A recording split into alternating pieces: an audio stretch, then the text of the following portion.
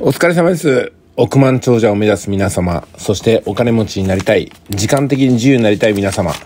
今回気になる男の190話を、ちょうど139話をね、お届けするんですけども、今回ね、私のね、ライフスタイルをちょっと紹介してみたいと思います。え振り返ると私の人生ってのは40代から資産構築を始めて40代のうちに完了してで50代からね隠居生活まあ正確には45歳からなんですけども、えー隠居生活が開始しましたまあ、40代の前半である程度自分の障害賃金に目星をつけたってことなんですけどもそんな私でも40歳になる直前まで借金は3500万以上あって当然持ち家もありませんし賃貸で住んでる3万5000の物件にすらね3ヶ月以上の滞納していたって、まあ、こういう低たらくがございました。まあけど前回お話したようにこの億万長者の招待状といったらねまあ言い過ぎかもしれませんけどもとりあえず私の手元にはインターネットを使ったまあ、ビジネス、集客、そして YouTube というものの情報発信の手段が手に入ることによって、この使い方によってですね、多くのお金を集めることができて、多くの時間を節約することができたってことになります。ですんで、この動画を見てね、自由になりたいなとかお金持ちになりたいなと思ったら、とりあえず YouTube をスタートラインにしてください。え、それ以外に言うことなくて、YouTube を否定するなら、私からお話しすることはもうなくなっちゃうんですよね。えー、ということで今回もお届けしてみようかと思います。で、いつものように YouTube でお届けしますからね。じゃあ次のシートです。今日のシートはね、今見ているタイトルを含めて4枚ですから、そんなに長くありません。はい。えー、あなたがね、ちょっと仮に想像してもらいたいんですけども、40代の10年間で、こんなことが起きたらどうします？?3 年ごとに1億円稼げたら、そんな仕事をしていたらどうしますか ?40 代になって3年ごとに1億ですよ。ね、前回、そう、何ですかね？20代、30代、40代を通じても、1億円稼げないっていうリアルがあるよってことをお話したんですけど、覚えてます ?20 代で、例えばね、年収200万で10年間やっても2000万でしょ ?30 代で、日本人の平均年収と言われる300万、中央値ですけどもね。これができても10年間で3000万でしょ。で、40代で、年収400万っていうと、そこそこの約束をついている、まあ、会社勤めの方になりますよね。でも20代30代40代足して9000万ですよ。1億円にならないわけですよ。でしかもこの金額って生活費で消えていきます。だから手元に全く資産構築ができない状態なんですよ。でも3年ごとに1億円稼げたらさすがに資産構築できるんじゃないですか。どうでしょうかね。でもそういうふうな40代を過ごしたらこうなると思います。障害賃金の3億円は40代のうちに完了するってことなんですよ。じゃあその他仕事をするのか趣味に生きるのか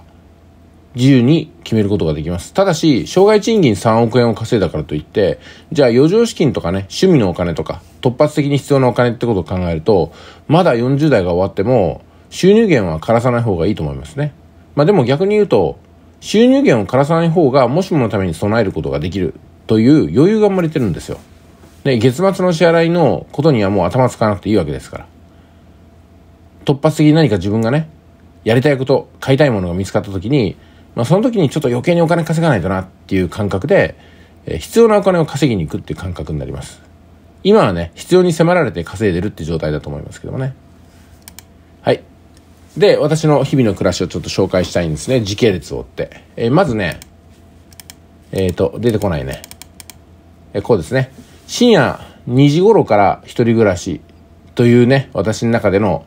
考え方ですけども、深夜2時に家族が寝静まったところで私はムクムクと起きてきて、自分一人の作業をしています。この動画を撮ってるのも深夜、今ね、3時ですね。3時46分です。で、え朝5時半ぐらいからライブ放送を始めてます。えー、未だに私は YouTube をやってるってわけなんですよね。うん。それから、あと、朝7時頃から家族が起きてくるので、家族と過ごすかなと。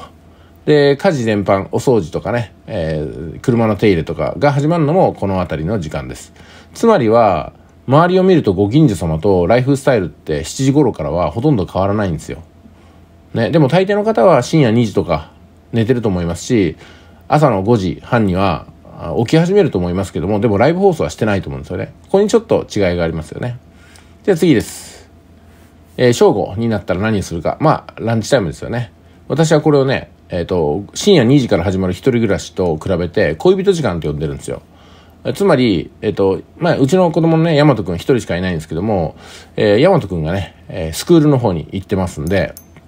その間夫婦二人で自宅で過ごしてるって感じです。まあこの時は恋人時間って言って、まあデートに行ったりね、一緒に買い物に行ったりとか、あ趣味を共に過ごしたりとかね、かなり豊かに過ごしております。もう出会った時と同じような感覚ですよね。お互いにまあおめかしをしながらって感じでございます。ランチタイムを過ごしながら、ランチタイムはね、自炊が主なんですけども、えー、今日は家事が早く終わったから、じゃあ11時ぐらいから近くのランチをちょっと楽しんで、その後街の散策をしましょうかとかね、えー、田舎町の方に行って、えー、秋の景色を楽しみましょうかみたいな感じになります。つまりはデートをしてるわけなんですよ。はい、そして、後半ですけども、15時ぐらいに大和くんが帰宅しますので、その頃には家に帰ってるかなっていうとこですよね。だから恋人のデートとしては、まあ半日過ごせるんで、ここでまあ十分ということで、えー、それからもね、また一緒に大和くんを迎えて、夕食に臨むって形になります。で、えー、大和くん帰宅から夕食まで、まあ必要でしたらね、おばあちゃんのうちに大和くん預けたりとか、私がね、一緒に遊んだりするわけなんですけども、あと、やっぱり学校の勉強とかもね、自宅でする場合がありますんで、ここでその時間にやってます。で、17時から夕食をとります。ね、皆さんの多分夕食時間から考えるとちょっと早いんじゃないかなと思いますよね。でもルーチンでこの通りなんですよ。で、お食事が終わったらちょっと一息ついて18時からお風呂に入ると。で、19時にはもうね、ベッドに向かうんですよ。で、私と大和くんは2人でベッドに向かって、なんか修学旅行の夜みたいなね、えー、遊び方をするんですよね、男の子同士で。で、布団にこう、ね、かく、何？布団にまぐ、巻き込まれて、かくれんぼしたりとかね、枕を投げたりとかね、一緒に YouTube 見たりとか、で、ミニカーで遊んだりとかしますね。私としても非常に豊かな時間です。まあそれで8時とか9時ぐらいには自然に寝るみたいな感じですよね。これが一日のライフスタイルなんですけども、でもまあ、普通の暮らしといえば普通の暮らしじゃないですか。何がないかって言ったら出勤の時間がないんですよね、全く。うん。で、多くの世の中のお父さんお母さん、ね、主にお父さんですけども、多分ランチタイム恋人時間ってのはないと思うんですよ。で、15時に帰宅をね、迎えるってこともないと思いますし、まあ17時に夕食もないでしょうね。18時にお風呂に入るのも結構ラッキーな方だと思いますし、多分帰る時間が19時ぐらいなんじゃないですかね。19時ぐらいに家に帰ってきて、そこからあ夕食をとる。もしくはお父さん一人で、えー、夕食の残りを食べるみたいな感じ。そこにお母さんがちょっと付き合うみたいなとこかなと思うんですよ。で、お風呂に入って、寝るのがまあね、10時とか11時ぐらいになるんじゃないかなと思いますよね。まあ、この辺だから日々2、3時間のタイムラグですけども、あの、かなり人生の中には大きな違いを生むんじゃないかなと思います。あと私の場合はこの、ね、19時に寝ちゃうわけですから、まあ遅くてもね、9時には寝るわけですから、深夜2時に起きても、一眠りした状態なんでね、全然頑張って働けるわけなんですよ。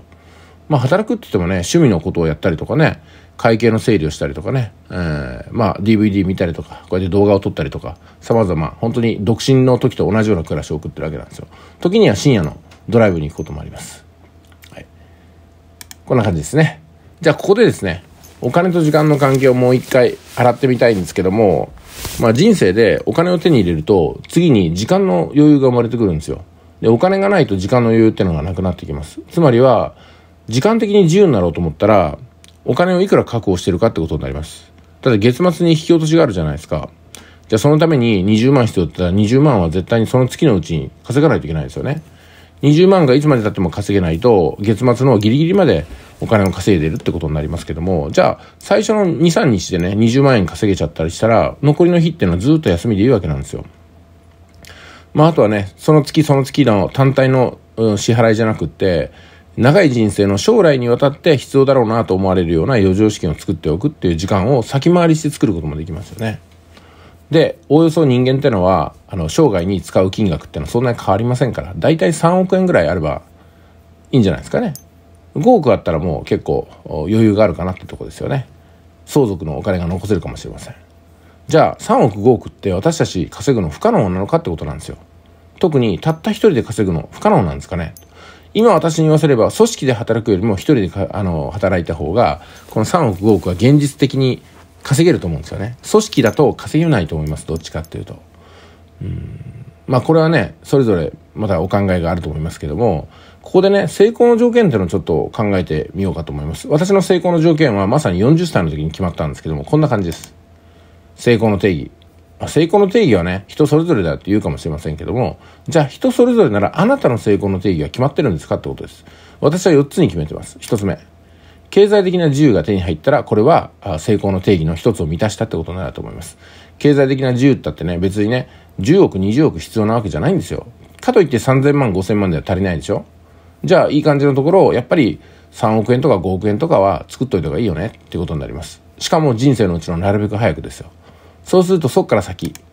時間的な自由が手に入ります。ね、これが2つ目の成功の定義です。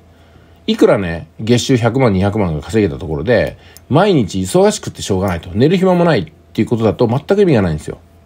だから、そこそこ経済的な自由を手に入れたら、もうそこからね、一生懸命稼ぐとか働くってことから手を離していって、そうじゃない時間をたくさん持つ、つまり時間的な自由を手にするっていうことを作っていかないといけないのかなと思うんですよ。それから、組織に属していないってことです。これは徐々に組織から離れるっていう考え方もありますし、まあ YouTuber みたいにね、最初からスタートラインがどこにも属さないっていうところから、経済的な自由や時間的な自由を追いかけていくっていうところもあると思います。まあ、順番は1、2、3それぞれ、え前後すると思いますけども、まあ、これをね、どの順番でいくかってことを決めるってことも大切な成功の定義になります。じゃあ、4つ目ですね。まあ、バッシング受けてないってやつです。あの、やっぱりね、経済的な自由を手にして、時間的な自由を手にしても、組織に属してないわけですから、何も守られないんですよ。だからバッシングを受けていないってことも大切になってきます。もしくは、バッシングを受けているということが分かるようなところに行かないということですよね。もう自分と気の合う人とだけ付き合う。そしてインターネットでね、自分の名前検索して、で、嫌なテーマで語られてることを見ないってことですよ。ね。あの、他人ってのは無数に存在しますから、自分の意向にそぐわない人ってのは無数に出てくるわけですよ。だからそこをね、探しに行っちゃうと、やっぱりね、見つかるんですよ。だったら、そんなとこ行かずに、気の合う人といい感じでやっていけることだけを選べばいいわけですよ。人生は有限ですからね。で、せっかく経済的な自由を手に入れた。それは自分の好きな人に使ってくださいと。別にね、自分と相反する人のために経済的な自由を使う必要はありませんし、時間もそうですよね。大好きな人と時間を共有すればよくって、自分と反りが合わない人に無理やり時間を合わせる必要はないでしょうと。そして、属する組織がないっていうのも大事なんですけども、これ瞬間的にね、便宜上属してもいいんですよ。ただそこに骨を詰めちゃダメってことなんですよ。そもそもどっかの組織に骨を詰めることって不可能ですから。でやっぱり付き合いっていうのは30年、40年、同じ会社に勤めるとかね、同じ組織に属するっていうのは立派なんですけども、それは昭和の高度経済成長を前の生き方だと思うんですよ。まあ、今は時間の概念がすごく早くなってますから、昔の30年が今のね、3年ぐらいにしか相当しないと思いますから、そういう意味で言うと、本当に1年とか2年一緒に何かをやったら、あ、もう随分長い間一緒にやったねっていう感覚を持たないといけないんじゃないかなと思います。うん。で、もしね、長く属するものがあるとしたら、それは家族だけでいいんじゃないですか。結局は家族がマストであり、他はその時必要だった便宜上の仲間なんですよね。こういうと冷たい気がしますけども、実際皆さんも振り返ってみたらそうでしょう。その時その時で必要な組織はあったけども、そこを離れるとね、全くお互いに必要となくなってるわけなんですよ。サラリーマンを辞めました。で、また会社に遊びに来てくださいねってって絶対行かないでしょ。行ったところでどうするんだって話じゃないですか。はい。という形でね、成功の定義についてもお話しさせてもらいました。今回気になる男シリーズの、まあ、本編はこんなところですね。こんなところですね。うん。あとは補足動画でお会いしましょう。